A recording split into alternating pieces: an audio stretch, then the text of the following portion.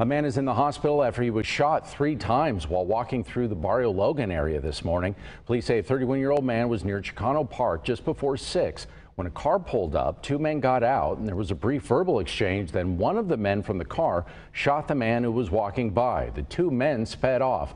The victim is in serious condition but expected to recover.